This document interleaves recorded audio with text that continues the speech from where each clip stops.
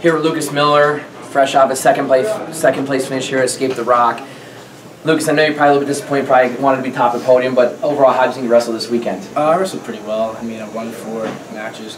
Two of them were tough, and then the finals was a tough one. But uh, glad I was able to get in the finals, get my first uh, medal here, which was a big improvement. I felt from last year.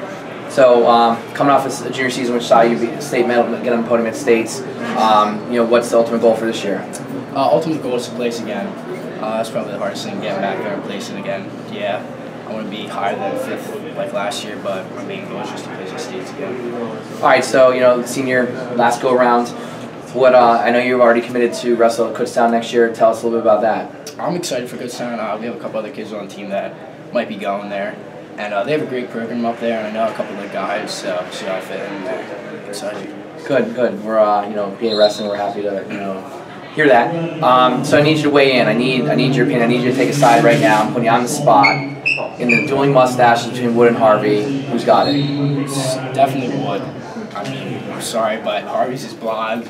It's, it's so weak compared to Wood's. If Brody O'Connell was in it, he'd win now.